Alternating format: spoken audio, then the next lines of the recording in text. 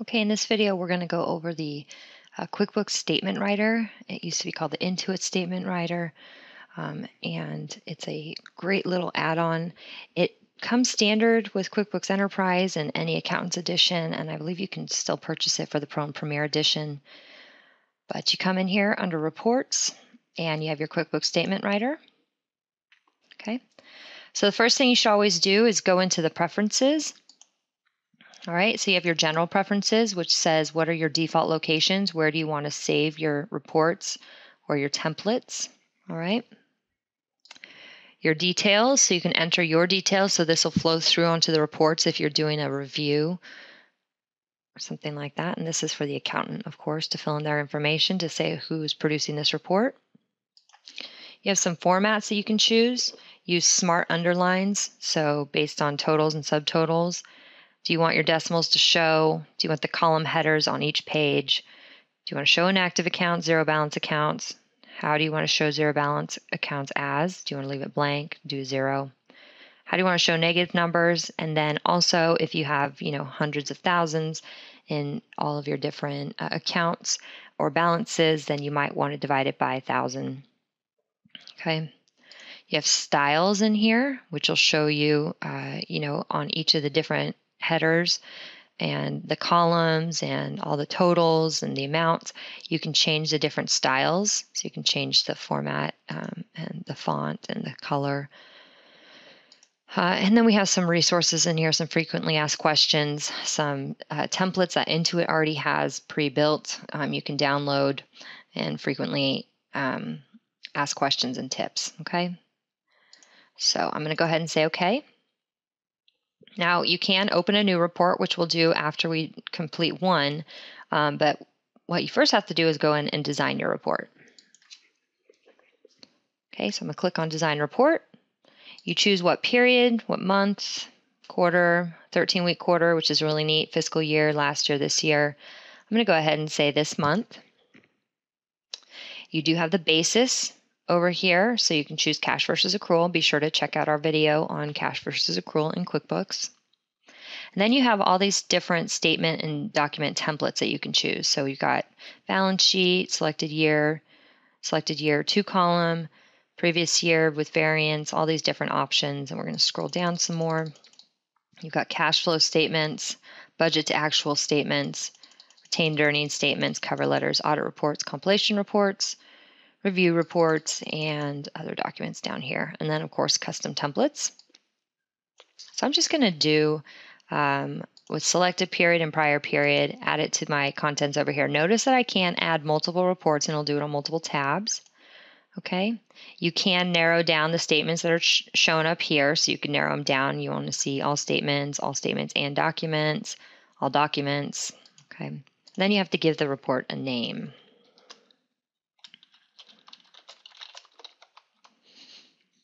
Okay, and then you can save the change to location. So I'm going to change this just so it's easy to find, put it under demo files, okay?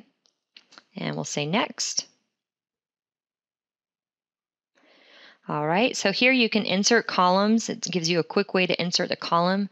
I'm going to say I want to insert a blank column, uh, a column with their account numbers. You know how we always have a issue with getting account numbers and um, the information on the same screen.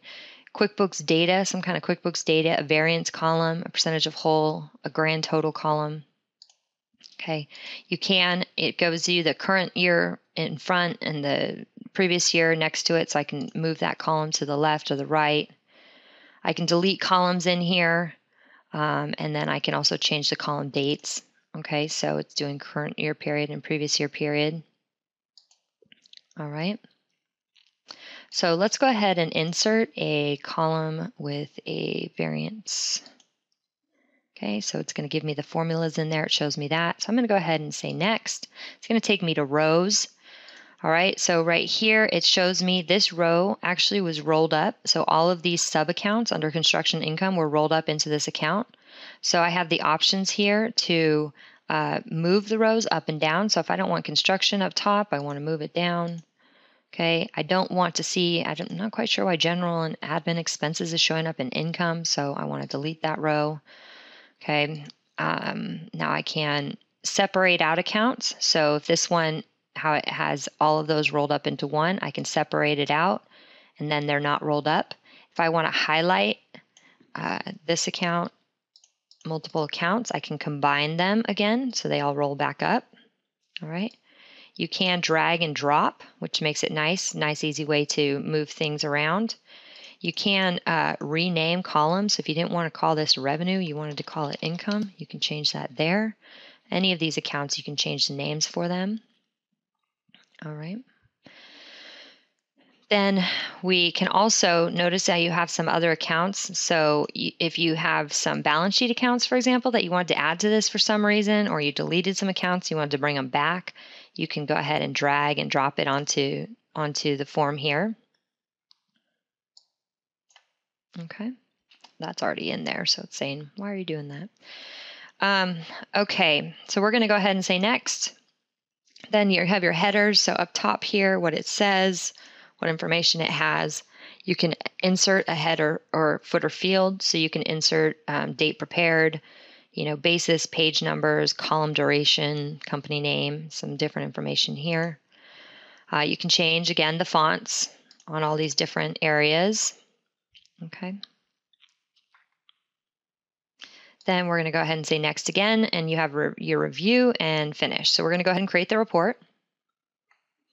Now it's going to open up. Notice you do have to have Excel on your on your computer to be able to do this. So if you have a hosted file, um, you might want to talk to your hosting provider about getting Excel. Okay, so it's going to open up into Excel here with all of our information and the report that we just built. Takes just a second to load up because it's got to do that connection. What it's doing right now actually is it's actually forming the connection to QuickBooks Financial so that we can uh, go and change things in QuickBooks Financial and it'll automatically update.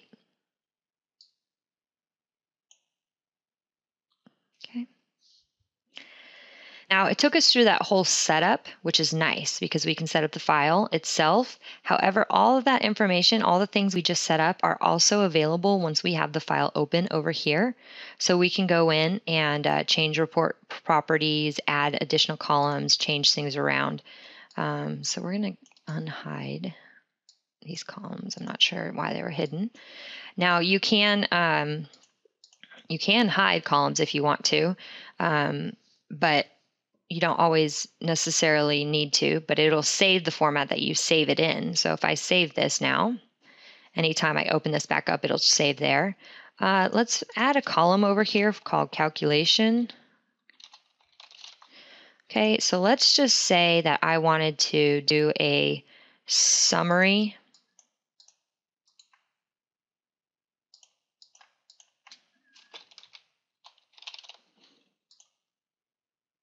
Okay, I wanted to do a summary here. I'm going to add calculation. I'm going to do a summary, inco income, COGS, expense, net. Okay, and this calculation is going to then take, I'm going to do a sum of my income, total revenue. Okay, uh, let's unhide all of these columns just so I know what we're doing here. All right, so I have a sum of my income, my cost of goods sold. I'm going to have a sum there. I do alt equals and do a sum of my cost of goods sold here. And I'm going to do a sum of my expenses by pushing alt equals and highlighting the expenses.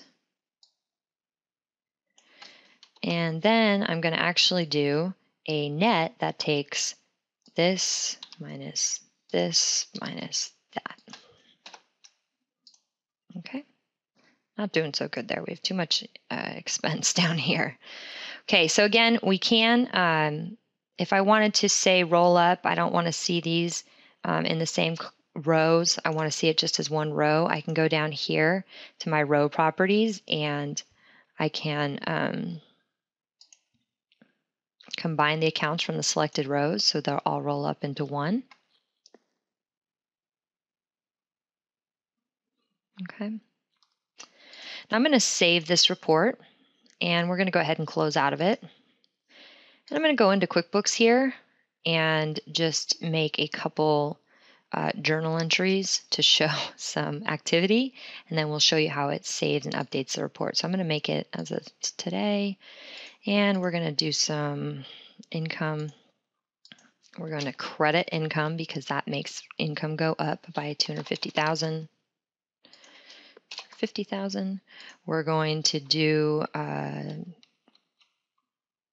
up let's up the cost of goods sold. Job materials cost is at 15,000. And we're going to up also the uh, advertising promotion costs by 15,000. And let's do a couple more here. We're going to up the, um, let's say subcontractor costs is 25,000. Again, this is just to get some data in there. This is not a good way to, to change your accounts. So we'll put in there some depreciation expense of 5000 and the rest I'm going to stick to retained earnings for now. Okay, so save and close. All right. Now we're going to go into the QuickBooks Statement Writer again.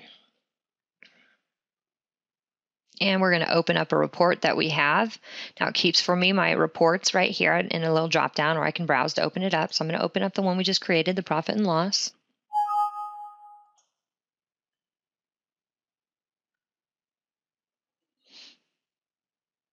Okay, so now what it's doing, it's opening the report. It pulled it open based on what I had right now, but it also has, has the ability to refresh data from QuickBooks. So notice all of that information that I just stuck in there to the different accounts, the $20,000 in here gives me the breakdown, the 15,000 to advertising promotion, 5,000 to depreciation. and construction income, uh, how I raise my construction income, it automatically raises it here and it keeps the formats for me so that I can easily um, pull up these reports again. Okay, so that is a quick look at the Intuit Statement Writer.